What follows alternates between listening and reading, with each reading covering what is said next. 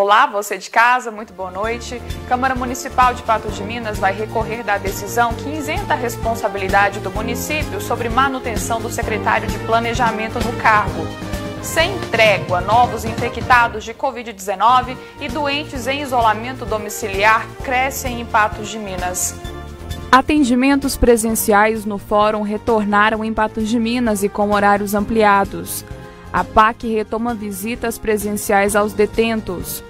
Duas das barragens consideradas de risco estão em Patos de Minas. Minas Gerais tem avanço discreto no IDEB e metas não são alcançadas. Reta final do inverno com cara de verão. Como a meteorologia explica as altas temperaturas nessa época?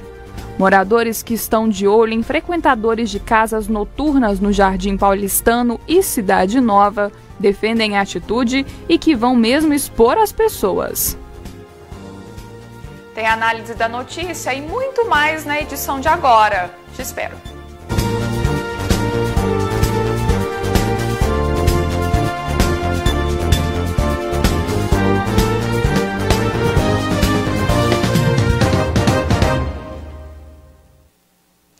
A Justiça precisou intervir no mais recente embate entre o Legislativo e o Executivo patense e decidiu que o secretário de Planejamento Júlio César não precisa ser exonerado, conforme recomendado pela CPI.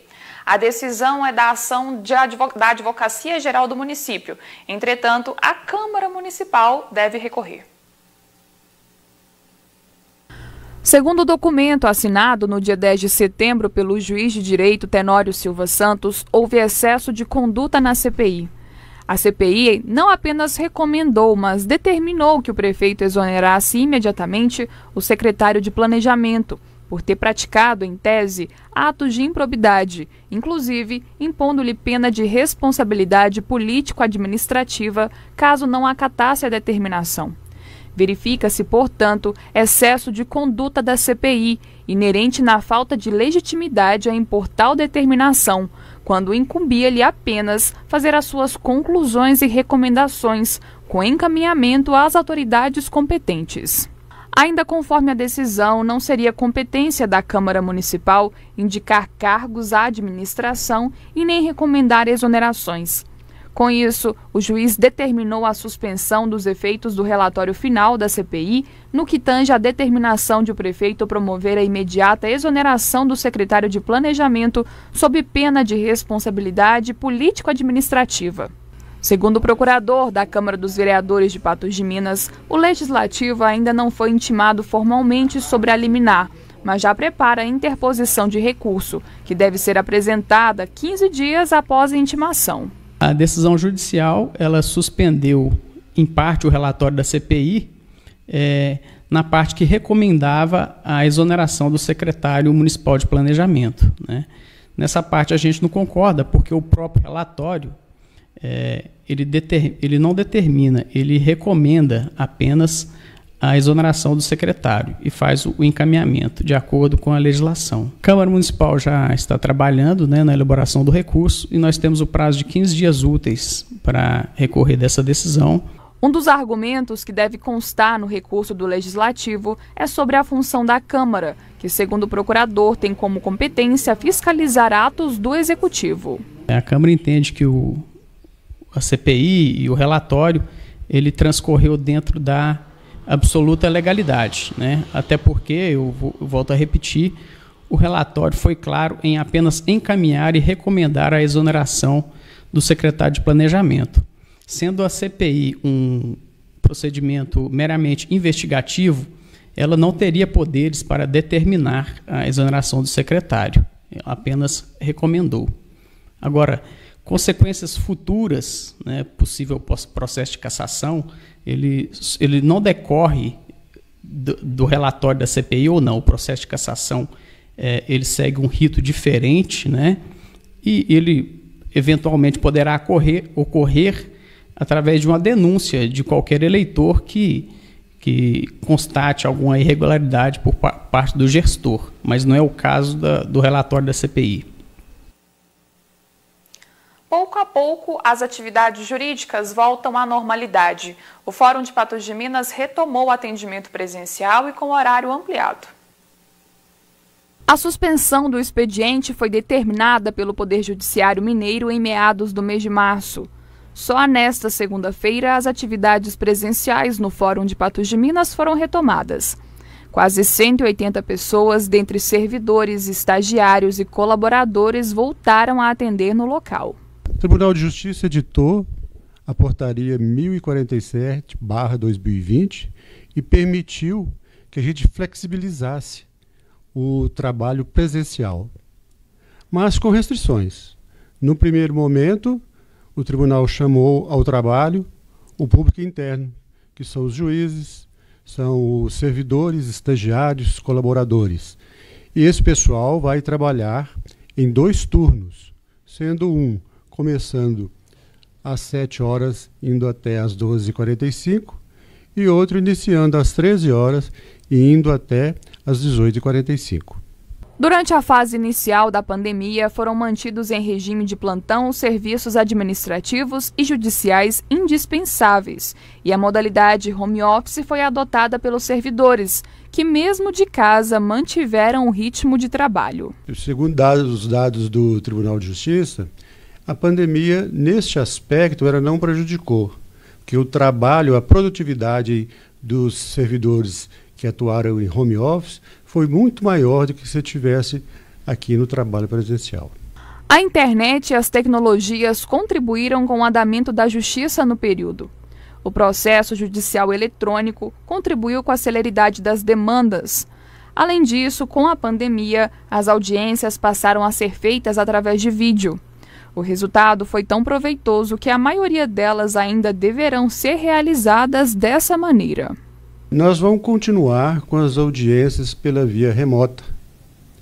As audiências presenciais nós só podemos fazer em caso de urgência e quando não for possível fazê-la pela videoconferência. Mas isso porque os prazos dos processos físicos estão suspensos, porque nós estamos aí implementando o projeto de virtualização.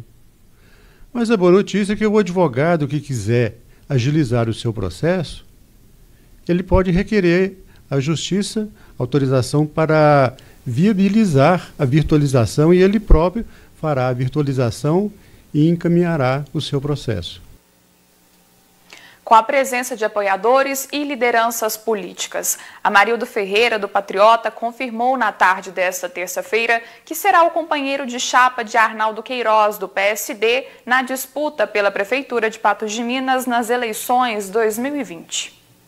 A reunião também contou com a participação do prefeito José Eustáquio, do deputado estadual Eli Tarquínio, pré-candidatos a vereador e dos presidentes dos partidos que fazem parte da coligação que apoia a candidatura de Arnaldo Queiroz. Amarildo Ferreira é casado, tem 49 anos e trabalha como gerente da empresa responsável pelo transporte público em Patos de Minas. Ele foi vereador e concorreu por duas vezes ao Executivo Patense. Na última eleição municipal, quando ainda era filiada ao MDB, conquistou mais de 27 mil votos. A seguir, a gente mostra os andamentos de investigações dos últimos homicídios registrados em Patos de Minas. Nós voltamos já já.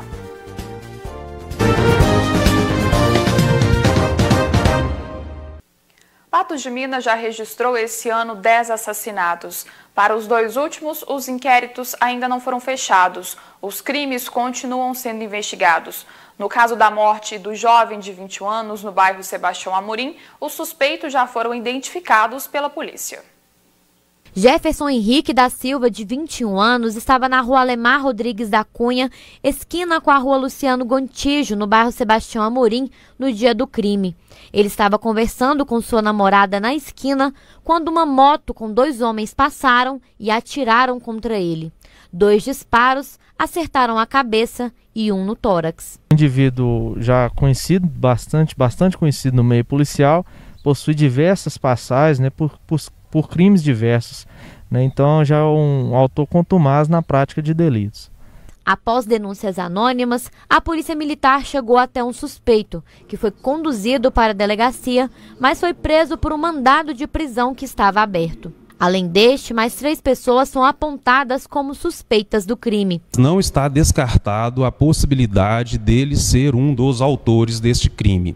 A Polícia Militar é, nos repassou informações muito importantes e pertinentes ao caso, é, que foram colacionadas é, logo após os fatos, e inclusive esse suspeito que foi preso pelo mandado de prisão é um dos quatro suspeitos da prática deste crime.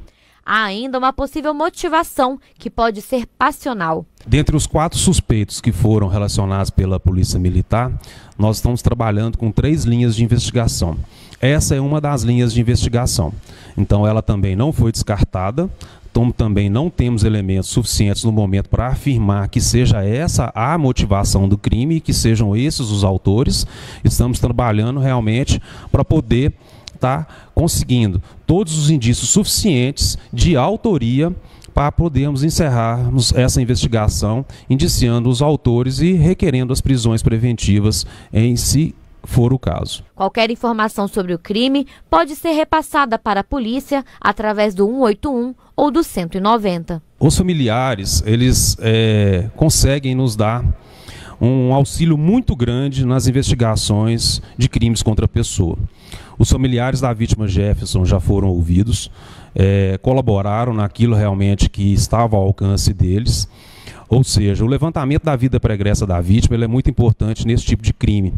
E em qualquer outra informação que também não está ao alcance dos familiares, pode ser nos passado diretamente aqui na Delegacia de Crimes contra a Pessoa, ou também pelo Disque Denúncia 181, que é uma denúncia de forma anônima. O homicídio de Renato Chaparral, executado a tiros há dois dias, também não foi solucionado. Para esse caso, a polícia também já levantou os suspeitos do crime. Renato Santos do Amaral, de 21 anos, estaria de moto com a namorada na Avenida das Paineiras, no bairro Jardim Aquários, em Patos de Minas, na noite deste domingo. Em certo momento, ele foi surpreendido por diversos disparos de arma de fogo. A namorada da vítima, que estava na garupa, conseguiu fugir do local. O jovem, que é conhecido como Champarral, morreu no local. E esse indivíduo ele possui várias passagens pelo mundo do crime né, homicídio, tráfico de drogas, roubos. Então ele, né, ele era considerado um, um indivíduo que estava em grupo de risco pelas atividades que ele desenvolvia aí no mundo do crime. De acordo com testemunhas, quando Renato parou na parada obrigatória, ele foi surpreendido por um ciclista que efetuou os disparos de arma de fogo. Assim que ele parou nessa parada obrigatória, ele foi abordado por um ciclista né, nessa bicicleta que já chegou e efetuou os disparos contra a vítima, o Renato, que era o piloto da motocicleta. Nada foi feito em relação à, namorada dele, que estava na garupa da motocicleta, e a motocicleta até caiu, caiu também realmente na, na perna dela. É, nisso aí o autor conseguiu evadir, é, não conseguiu evadir na bicicleta, abandonou a bicicleta no local Após denúncias anônimas, a Polícia Militar tomou conhecimento de um possível suspeito do crime. Ele foi conduzido para a delegacia e preso por um mandado de prisão em aberto. Ontem mesmo, a Polícia Militar é, recebeu uma denúncia anônima de um dos autores, um dos suspeitos desse crime verificou realmente que ele tinha um mandado de prisão em aberto e ele foi conduzido ao presídio Sebastião Satiro em razão deste mandado de prisão pela prática de outros crimes anteriores a este homicídio. Em relação ao homicídio, não tinha, no momento, elementos suficientes que viessem a ensejar a ratificação da prisão em flagrante delito desse suspeito. Mas não está descartado a possibilidade também dele ser realmente o autor deste crime e que inclusive pode ter algum mandante também e alguma pessoa que possa ter auxiliado na fuga deste autor logo após a prática do crime. A motivação do crime ainda está sendo investigada e pode ter relação com as passagens policiais da vítima. Público e notório aí que ele já tinha envolvimento na prática de alguns crimes, né? E realmente não está sendo descartado algum possível desacerto aí na prática de algum crime que já vinha sendo praticado por ele aí ou algum, alguns comparsas, alguns autores, alguns colegas aí do mundo do crime possam ter cometido esse, esse crime aí. Não está descartado também nem a possibilidade de pessoas próximas, ou seja, em tese, que não eram rivais ao Renato também ter praticado este crime. Os laudos periciais não ficaram concluídos, mas em contato prévio já, junto com os médicos legistas e peritos criminais, nós verificamos que a arma utilizada nesse crime foi um revólver e que cinco disparos atingiram a vítima. Na sequência, a gente fala dos motivos do calor na reta final do inverno. E duas das barragens consideradas de risco estão em Patos de Minas.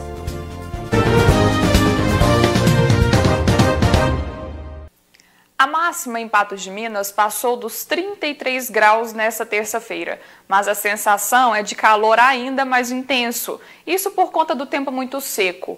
Com a umidade relativa do ar na casa dos 12%, o estado é de emergência. Essa sequidão e o calorão devem marcar a reta final do inverno. Você também tem a impressão que o verão 40 graus invadiu essa reta final do inverno? Tem gente que não está entendendo mais nada. Não dá conta de entender o tempo, não, senhor. Não dá conta de entender. Também está de um jeito, está do outro. A gente está achando que está muito seco, muito calor. É, à noite ninguém está conseguindo vento nessa época, né? Era uma época sem vento e agora está tudo contrário, né? Parece que as estação mudou tudo, então tá complicado, né? A gente não está entendendo mais nada do tempo, né? Dalci, essa sensação também de tempo seco não é para menos. Acredite, a umidade relativa do ar em Patos de Minas está em apenas 12%, estado de emergência. Nesse finalzinho, que é essa semana, o que a gente pode esperar do inverno? São temperaturas que nós estamos vendo na volta do dia, em torno de 35, 36 graus, que não tem nada de inverno mais. Mas o grande problema que nós vemos é exatamente uma característica própria do inverno, que é a umidade relativa do ar baixa. É preocupante porque hoje nós temos a umidade em torno de 12%. Imagina o que é isso, é um clima de deserto. Deserto normalmente você tem 10% de mínima no, na umidade relativa do ar. Nós temos agora em Patos em torno de 12%. Então existe uma necessidade da gente buscar é, melhorar ou medicar essa questão da umidade relativa do ar. Por isso é preciso cuidados extras, como abusar da hidratação. E com esse calor de derreter, cada um busca uma maneira de se refrescar. Por isso que eu tô chupando um picolé. Uma água gelada e só. A gente sai um pouco, né, de casa, porque dentro de casa tá muito calor, e a gente sai para tomar água de coco e dar uma refrescada, né?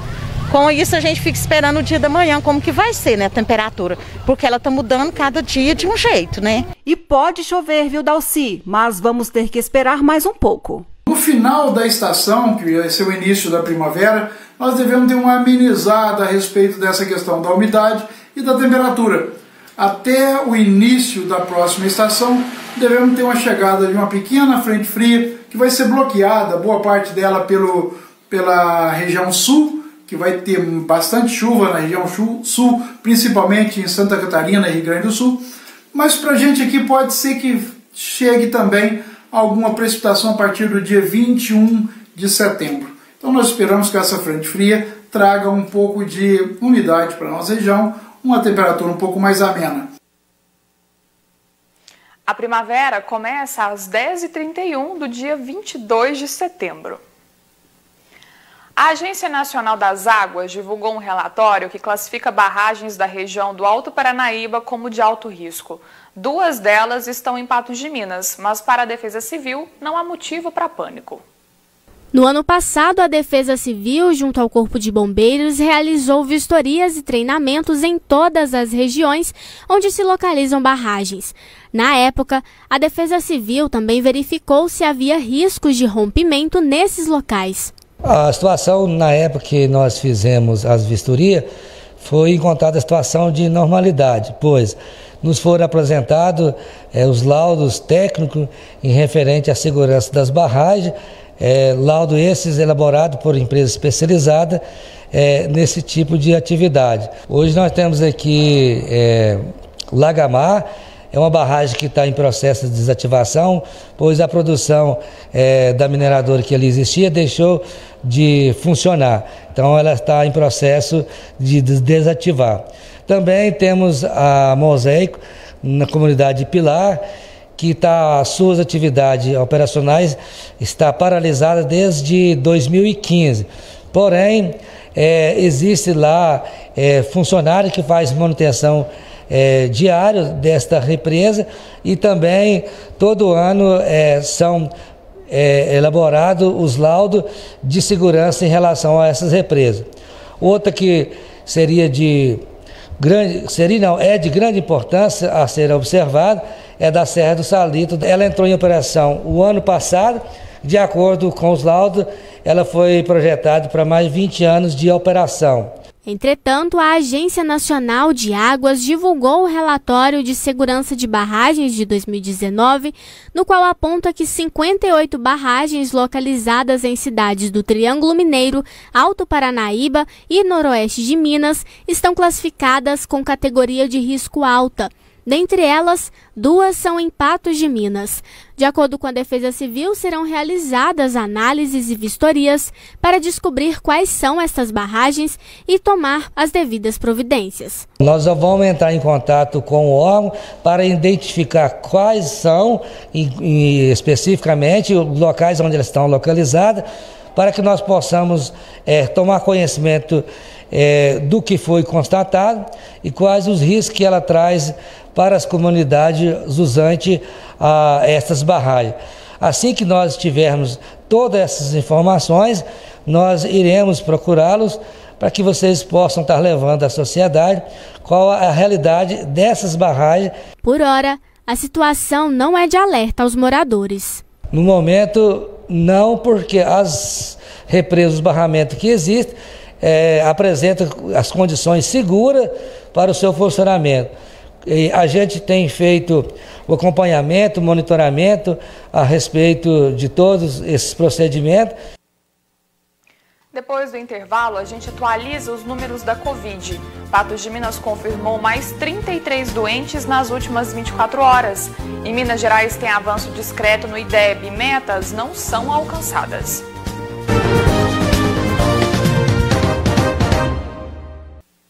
Estamos de volta e agora é hora de comentar alguns assuntos importantes para Patos de Minas e região no Análise da Notícia. Quem fala comigo é a jornalista Ludmila Bahia. Oi, Ludmila, boa noite, como vai? Boa noite, Jéssica. Boa noite para todos que acompanham o NTV News. A gente chega com aquele momento de conversar um pouquinho de algumas notícias que marcam o dia.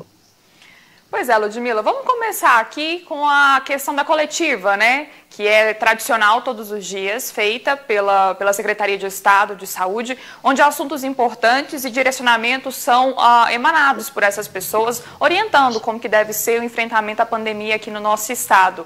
Hoje a gente tem uma fala muito importante do secretário de Saúde, o Carlos Eduardo. Vamos assistir. Estamos com uma tendência à redução dos casos no estado. Em relação à mortalidade, nós hoje em Minas Gerais temos a menor mortalidade proporcional por 100 mil habitantes do país. Nós, temos 29,7 óbitos para cada 100 mil habitantes e 62,8 para a taxa do Brasil, para cada 100 mil habitantes. Então, para nós, efetivamente, nós estamos conseguindo ter um controle razoável dessa epidemia. Agora nós começamos a ter uma queda nas notificações de óbitos, na queda nas solicitações de internação, mas eu gostaria aqui de reforçar que isso é um trabalho coletivo de toda a sociedade que vem sendo feito e que esse trabalho não deve encerrar, ou seja, todos nós devemos continuar nos cuidando para que nós consigamos ter os mesmos níveis de resultado que nós tivemos até agora no futuro. Realmente, se o comportamento da população apesar da legislação produzida, apesar da, dos esforços do governo do Estado de Minas Gerais e da Secretaria de Estado de Saúde, do, do trabalho que é feito pela nossa assessoria de comunicação e até mesmo da imprensa, que sempre é, procura reforçar esse comportamento, certamente este comportamento pode interferir e interferir negativamente eh, nos números da pandemia. A sociedade tem que mostrar que aprendeu, aprendeu a se cuidar, que nós vamos andando a cada dia e nos cuidando mais, de forma que nós venhamos a poder a retornar às aulas nas escolas e progressivamente ir evoluindo nas ondas.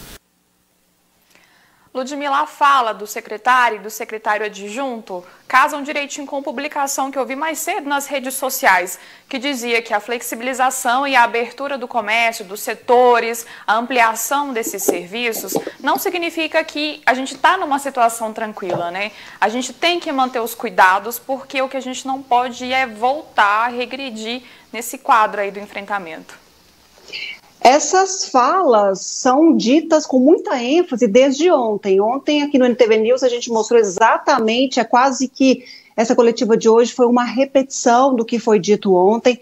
O governo comemorando comedidamente essa queda nos números da Covid-19 em Minas Gerais, seja em número de internação, é, seja com relação ao número de mortes. A gente tem 63% dos leitos de UTI para a Covid-19 ocupados em Minas Gerais, 59,6% de ocupação em leitos de enfermaria, são os menores percentuais desde o início da pandemia, mas o governo, ele tem uma comemoração com restrição, porque ele teme que essa flexibilização aumente exponencialmente os casos em Minas Gerais, levando em conta até mesmo o que aconteceu com outros países que foi dito ontem, o secretário de Saúde disse hoje de novo. Então, o Estado vê com muita cautela essa queda nos números e fica assim com o ar preso, prende a respiração para que mantenha essa queda e esses números não voltem a crescer, a exemplo de outras cidades e outros países, viu, Jéssica? Pois é, todo cuidado tem que ser mantido, né? Cuidado redobrado. A gente conseguiu evoluir um pouquinho aí nessa questão da abertura, mas ainda está nas nossas mãos aqui manter esses cuidados para que a gente não volte. Vamos ver Até mesmo tá porque Pera, deixa eu só falar uma, uma questão okay. que abrange o Estado, até mesmo porque, olha só, o número de notificações de crianças com suspeita daquela síndrome respiratória associada à Covid, que inclusive nós já fizemos reportagem aqui no NTV News, aumentou em seis casos em apenas uma semana. Inclusive, um desses casos que são investigados pelo Estado é de uma criança de São Gotardo. São 38 notificações, 17 confirmações, segundo a Secretaria de Estado da Saúde. Então, é, há outras complicações que envolvem a Covid-19 e a gente tem que ficar muito alerta com relação a essas questões relacionadas à doença. Pois é, e outra coisa, Ludmila, é que sequelas podem surgir mesmo depois da pessoa ter sido considerada tratada, né? Eu conversei com pacientes, a gente está produzindo um conteúdo especial aqui para trazer para o NTV News, mas isso me espantou, porque o paciente é considerado tratado, ele cumpre todos os dias de isolamento domiciliar, mas depois disso ele ainda pode sentir alguns sintomas que a medicina ainda não entende se esses sintomas serão permanentes, se eles podem uh, acabar, né, de acordo com o tempo tempo, ou se eles podem ser tratados. E alguns desses sintomas são a questão do paladar que fica afetado, a questão do olfato que também fica afetado, ou a pessoa não consegue sentir nada, né, nenhum tipo de cheiro, ou às vezes sente alguma coisa de uma maneira diferente. E a medicina se esforça para tentar descobrir isso. Mas são sintomas, imagina só, depois de você ser considerado curado, você ainda manifesta esse tipo de coisa?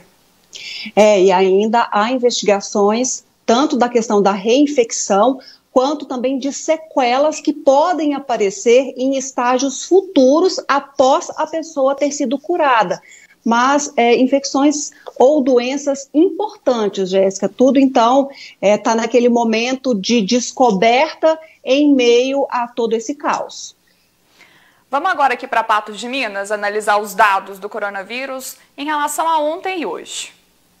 A primeira tela que a gente tem é a tela dos casos. Eu vou fazer a primeira leitura aqui dos números né, gerais que foram apresentados pela assessoria de comunicação de acordo com o painel coronavírus. Em relação a ontem, então, que foi 14 de setembro, a gente tinha 1.832 casos tratados. Hoje a gente tem também os 1.832 O percentual de cura, a gente tem uma leve mudança. Ontem estava em 89,50%, hoje 88,08%. As pessoas que estavam se recuperando em casa eram 152, hoje são 187. Os casos confirmados ontem eram 2.046, hoje pularam para 2.079. Os casos internados ontem 10 pessoas, sendo 4 em leitos de UTI, e hoje 8 pessoas, sendo 3 em leitos de UTI. Os óbitos confirmados, Ludmila, permanecem em 52. Olha só, Jéssica, a gente vê com bastante preocupação esse boletim epidemiológico da Prefeitura de Patos de Minas, porque a gente percebe aí um crescimento no número de infectados. Nas últimas 24 horas, mais 33 pessoas infectadas com Covid-19 e 35 pessoas se recuperando em casa. Ao todo, são 187 pessoas em isolamento, 35 só nas últimas 24 horas com confirmação. Então, nos deixa em alerta sobre a, o comportamento da sociedade, aquilo que o secretário falava anteriormente, reflexo aqui direto no boletim epidemiológico. Em contrapartida, nós temos aí menos duas pessoas internadas, menos uma pessoa é, internada em leito de UTI, o número de óbitos permanece o mesmo, assim também outro número que me chama atenção, números tratados iguais ou de pessoas curadas iguais de um dia para o outro, quando o esperado é que mais pessoas se curem de um dia para outro. Então, assim, são dados que nos deixam aí em alerta, preocupados, porque como bem disse a, o secretário de Saúde, como bem dizem as autoridades, estamos no meio de uma pandemia. Isso não quer dizer que flexibilização seja igual a nenhum cuidado com relação à Covid-19.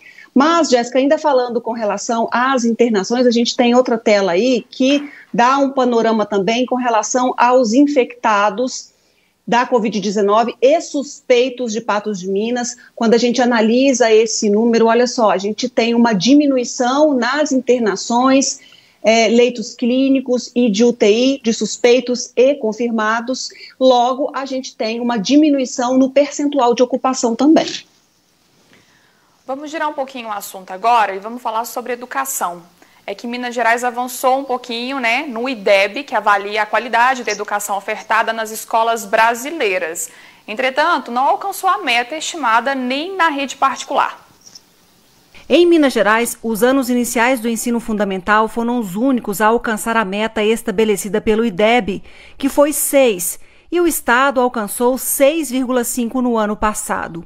Os anos finais do ensino fundamental avançaram 0,2 no índice, saiu de 4,7 em 2017 para 4,9 em 2019.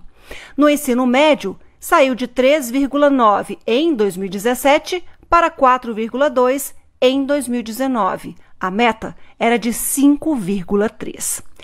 Para o governo mineiro, essas metas precisam ser revistas.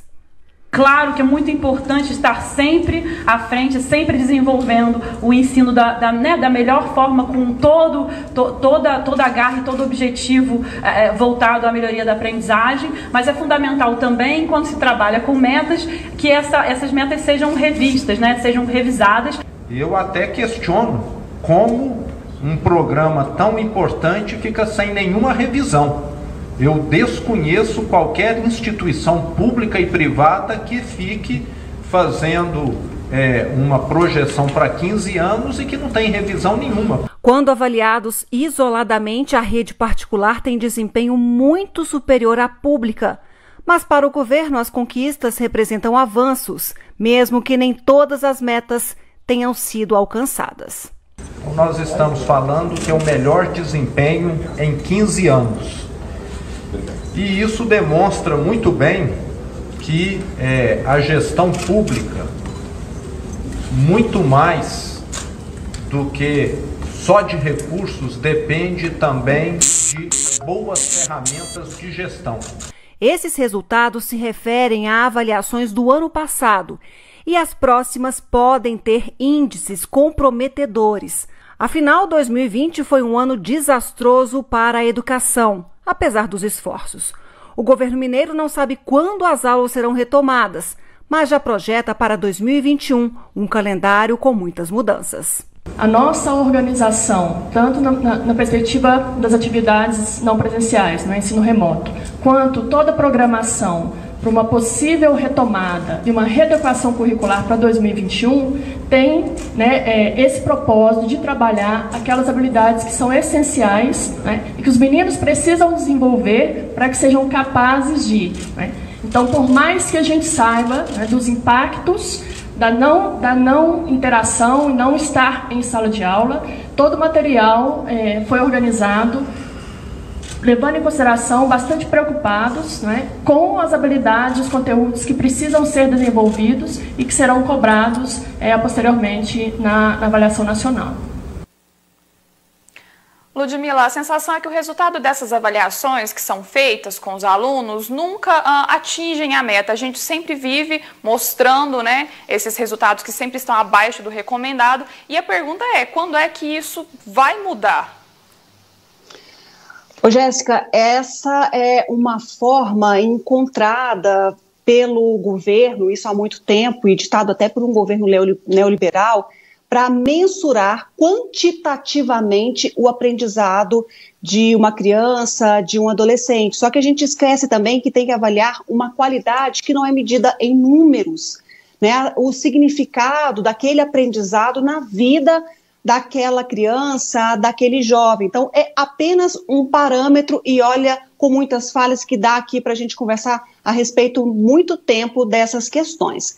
Mas nessa entrevista, eu achei muito curiosa essa coletiva do governador de Minas Gerais, junto com a secretária de Educação, com a subsecretária de Desenvolvimento da Educação de Minas Gerais. O governo é, entrou falando e comemorando muito os resultados do IDEB.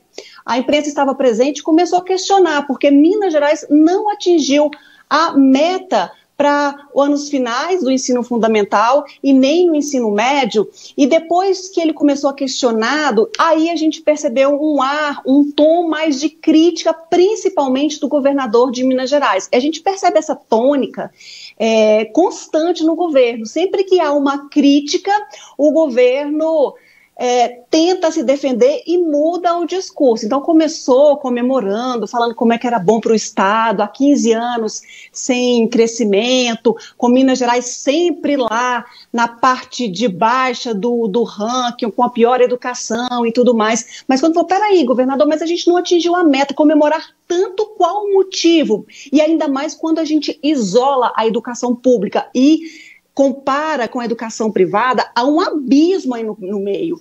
Há uma diferença gigantesca e grotesca que com certeza vai ser demonstrada é, nos, próximo ano, nos próximos anos, até mesmo por conta das consequências é, da pandemia, de como foi o comportamento na educação ofertada a esses estudantes nessa pandemia. E aí a gente percebeu um recuo, e aí o governo bombardeou, falou, puxa, mas como assim? Esses dados precisam revisa ser revisados. Eu nunca vi isso, 15 anos sem revisar um número, como assim?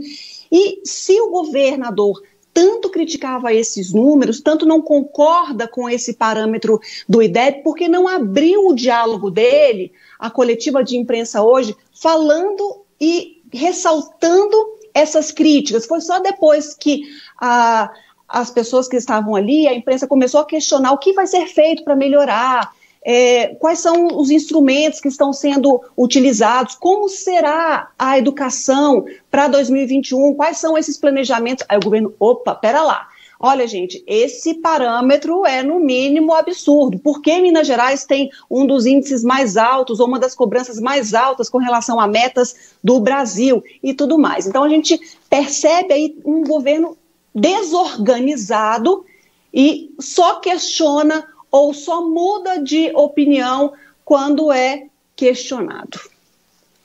E como dito na reportagem, Ludmila, os resultados do que acontece agora nesse período de pandemia ainda podem surgir, né? Eu ainda acredito que a, a evasão escolar pode aumentar levando em conta tudo isso e que deixa ainda essa situação ainda mais preocupante.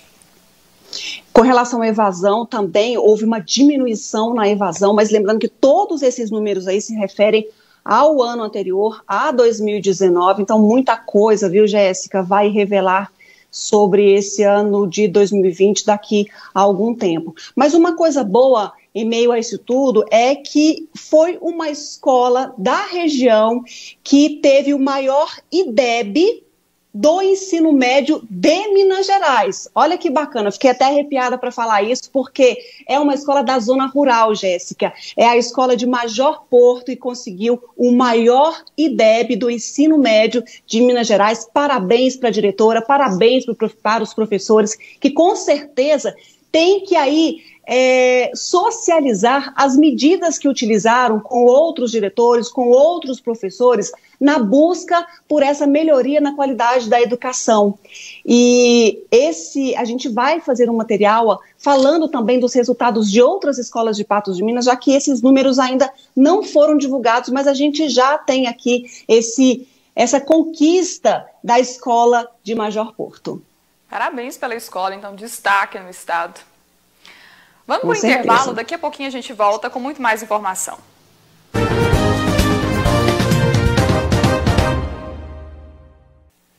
Um caixão foi encontrado do lado de fora do cemitério municipal de Rio Paranaíba. Surpresos, moradores fizeram registro do fato.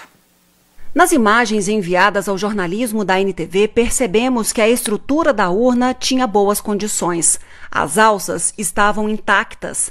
Apenas a tampa apresentava danos e dava para ver o forro do caixão. Encontrar a urna descartada em uma caçamba na porta do cemitério de Rio Paranaíba provocou indignação. Falta de respeito com a família da pessoa, ué. Doida. Ligar um caixão quase inteiro aqui. Olha pra você ver. Dentro da caçamba. Não, é errado. Segundo o secretário de Infraestrutura, Elismar, o caixão foi jogado na caçamba por um funcionário novato e este não é o procedimento recomendado pela Prefeitura. Após seis anos, familiares podem solicitar que o túmulo seja aberto para enterrar outro ente. Os restos mortais de quem já estava sepultado são colocados em recipiente e deixado no túmulo. O caixão é quebrado e enterrado em aterro de descarte regularizado. Essas providências foram tomadas ainda nesta segunda-feira, quando a Prefeitura tomou conhecimento do caso. Ludmila, imagina a surpresa dos moradores com a situação.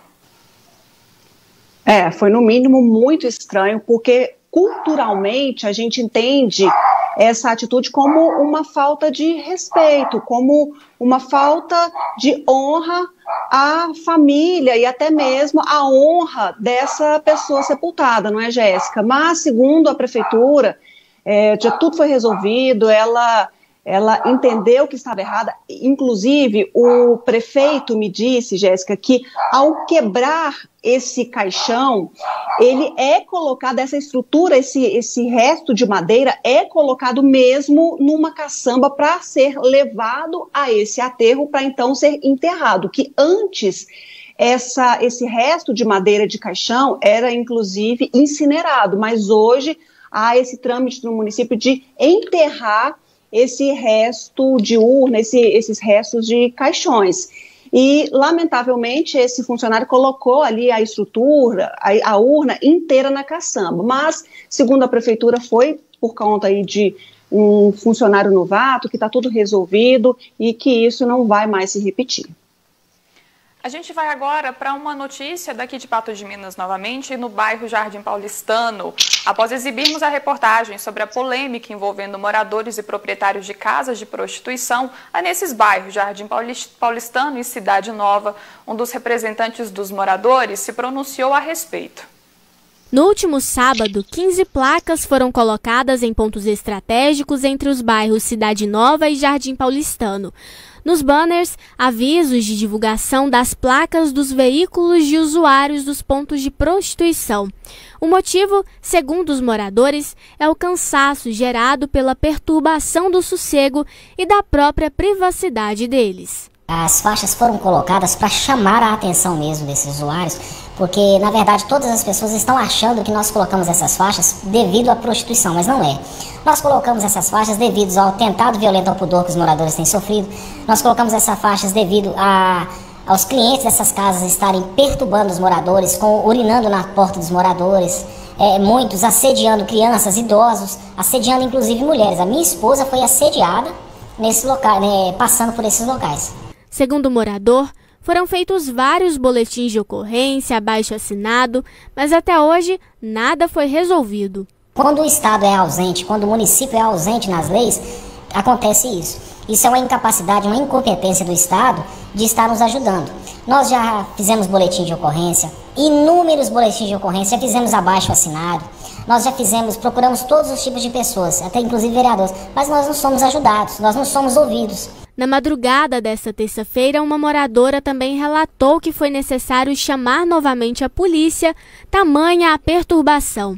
Ontem eu, eu tive que fazer um, um BO de novo por causa do barulho na casa em frente à minha. Não era som alto, era gritaria de, de, delas lá o dia, a noite inteira. Aí eu chamei a polícia. Mas os proprietários afirmam que situações como estas não estão ocorrendo. A gente respeita, tanto é que a rua é monitorada pela viatura da polícia. No dia que a gente esquece realmente está mais alto, a viatura chega e abaixa o som. Pode continuar trabalhando normal, mas abaixa o som. Entretanto, Novamente o morador rebate. Só perdura enquanto a viatura está aqui. Se a viatura chega, nós chamamos a viatura, a viatura chega, o barulho acaba. A viatura saiu, o barulho continua, madrugada fora. E os policiais militares fazem o que, o que compete. Chega e registra um boletim de ocorrência, muitas vezes manda parar o som. Só que depois que eles vão embora, acontece a mesma forma. Os moradores continuam sendo perturbados, inclusive ameaçados. Este gerente de casa de encontro também não concorda com a atitude dos moradores pessoal acha que pode prejudicar a gente, porque eles não pensam que nas casas noturnas trabalham mães de família que estão aqui para poder trabalhar, para tirar o sustento. Esta advogada também explica que a divulgação das placas fere o direito de imagem e divulgação de dados dos clientes. Quando da divulgação da placa do carro ou da imagem do carro com a imagem da pessoa, todos esses dados são considerados dados sensíveis pela legislação. Uh, inclusive, essas pessoas que eventualmente visitarem esse local, que é uma via pública, uh, podem vir a ser vítimas, então, de quaisquer dos crimes contra a honra previstos no Código Penal, como calúnia, difamação ou injúria. Mas o morador adianta que a imagem desses trabalhadores não será divulgada. Foi falado que vai ser entrado na justiça, nós vamos entrar na justiça também. Outra coisa que nós queremos deixar bem claro é aos trabalhadores, podem ficar tranquilos, nós já estamos monitorando essas casas, não é de hoje. Nós já sabemos quem são os Ubers, nós sabemos quem são essas meninas que vêm aí trabalhar, fazer a unha das meninas lá. Nós sabemos quem são os entregadores, eles não terão suas placas divulgadas. Vai ter sua placa divulgada, aquele camarada que chegar fazendo arruaça aqui na rua, ele vai ter sim sua placa divulgada. E o que eles esperam é que o problema seja solucionado. Nós pedimos ao poder público que tenha uma solução, que possa nos ajudar nessa, nessa situação. E muitas vezes até procurando local para essas casas. Aqui já é um bairro residencial, nós só queremos isso, nós queremos paz no nosso bairro. Pois é, Ludmila, a situação atormentava tanto esses moradores que eles decidiram então encontrar uma solução e foi isso que foi pensado. Pois é, Jéssica, o que a gente percebe é que essa situação saiu do controle e está insuportável para esses moradores que querem, inclusive, revelar os autores dessas arruaças. Mas aí já foi ponderado que isso pode ter implicações judiciais. Outra coisa que é colocada ali com relação à polícia, que quando a polícia está junta, fica tudo tranquilo, mas a polícia não é babá, não dá para poder ficar ali estacionada e só ver o, o problema daquele bairro ou desses bairros ou dessas ruas. É preciso monitorar toda a cidade. Mas impressionante como que eles colocam isso, né? A polícia sai, começa tudo de novo. A polícia chega, fica tudo tranquilo. Haja é, trabalho também da polícia para verificar toda essa situação que me parece aí sugere que está realmente insustentável para essas pessoas.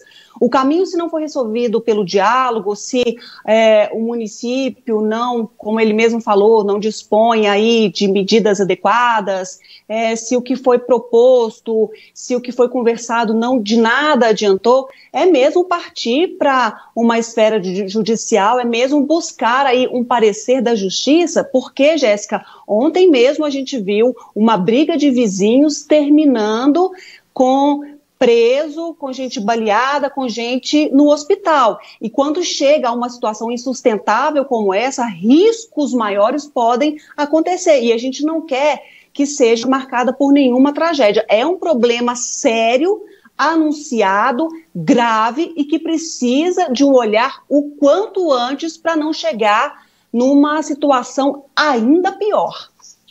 Com toda certeza. Vamos girar aqui de novo. Ao contrário do presídio de Patos de Minas, a APAC retomou as visitas presenciais. Para os diretores, a medida é necessária, mas não há contato físico. A Associação de Proteção e Assistência aos Condenados de Patos de Minas, a APAC, é dedicada à recuperação e reintegração social dos condenados a penas privativas de liberdade. Desde a pandemia, os detentos não recebiam mais visitas, mas com a determinação do diretor executivo da FEBRAC, o retorno das visitas foi estabelecido, mas com todas as medidas de segurança. Foi encaminhado para os juízes da, da execução penal, onde existem APACs em funcionamento no estado de Minas Gerais, e os juízes da execução penal, salvo o melhor juiz, por, a, por unanimidade, aderiram a essa experiência. E ela tem dado certo. Nós aqui já estamos tendo alguma vivência de visitas com esse retorno gradual, sem nenhum registro aí, né, de intercorrências de algum caso de contaminação pela Covid-19. Liberadas as visitas desde o dia 16 de agosto, os protocolos se tornaram rígidos logo na entrada. Máscaras são obrigatórias, álcool em gel nas mãos, temperatura aferida, isolado dos calçados e higienizados. Só assim é permitido que apenas um integrante da família entre para a visita, com um distanciamento entre detento e familiar, não podendo haver nenhum tipo de contato físico entre eles. De 15 em 15 dias eles vão ter a visita, vai ser apenas um familiar que vai vir por recuperando, né? cada recuperando vai receber apenas uma visita. É, esse, esse, esse visitante não pode ter acima de 60 anos e nem ser menor de idade e nem estar tá dentro do quadro de risco né, do, do Covid-19. O retorno das visitas foi necessário, já que o detento se encontra em processo de recuperação. E para que isso aconteça, o alicerce familiar é de grande importância para o indivíduo deixar o mundo do crime. A importância é que a família é fundamental, né, nesse processo de socialização, principalmente nós que se encontramos, né, recluso, né, privado das nossas liberdades. De grande importância a família, né, tá vindo aqui visitar seu ente querido, né, ter esse contato para recuperação, para ele manter né, mais calmo, saber como, como a família está, né, notícia melhor. Já no presídio Sebastião Satiro, a tecnologia entrou em ação para aproximar as famílias dos detentos. Com esse sistema prisional é de grandes proporções, o único meio de contato encontrado pelas autoridades neste momento de pandemia foram as visitas virtuais. Por própria orientação do Estado, né, que cada comarca pudesse é, viabilizar a melhor alternativa que permitisse esse contato, esse contato à distância. Então, aqui no presídio, é, depois de alguns meses, vendo que a pandemia iria perdurar por mais tempo, permitiu-se então ter uma deliberação conjunta, permitindo é, que essas, essas comunicações, essa visita remota aconteça, né? É, e existe também um controle muito rígido por parte da área da segurança lá, de modo a identificar as pessoas que estão realmente fazendo a visita, se elas têm vínculo com os recuperandos. Uma situação difícil de ser gerenciada, mas mesmo com distanciamento ou virtualmente, a saudade pode ser amenizada. Nós estamos bastante felizes, mais alegres, mais motivados né, de continuar caminhando, consciente né, do que tem que manter o distanciamento, que não pode ter esse contato físico. Temos a consciência né, de que temos que fazer a nossa parte e a nossa família também a parte deles para que tudo ocorra bem. Tem ajudado muito a amenizar essa, esse distanciamento físico que se estabeleceu por conta da pandemia. Então, Ludmila, é uma solicitação das famílias e dos internos, né, que em ambos os casos, tanto na PAC quanto no presídio, está sendo solucionada na medida do possível, levando em conta a pandemia. Pois é, Jéssica, mas o questionamento de familiares que têm detentos no presídio de Patos de Minas é justamente o porquê não acontecer, assim como acontece na PAC, essas visitas presenciais. Inclusive, na semana passada, é, a gente conversando e colocando uma matéria dos familiares, reivindicando, semana passada ou na anterior, reivindicando essas visitas presenciais. Uma das questões que eu falei foi justamente essa: por que o Estado aí não criar uma alternativa para que ocorra esse distanciamento, dado o, o espaço disponível? Porque a gente sabe que é uma necessidade, bem como disse o promotor Delicoli, ter essa visita como parte do processo de recuperação.